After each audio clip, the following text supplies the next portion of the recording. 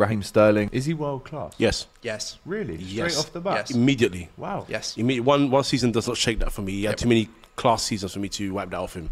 And quite frankly, Chelsea were a whole sea of inconsistency and Yep. uncertainty last season anyway. We let him down, in my opinion, last year. Mm. If you're looking at his his four to five years at City and they're telling me that he wasn't a world class winger, I, I, just I just cannot disagree with that more strongly. I, I mm. have to be completely honest with you. And you know, I understand he's not you know he's not universally loved as a player, but for me, he's he's just he, he is an outstanding outstanding winger. And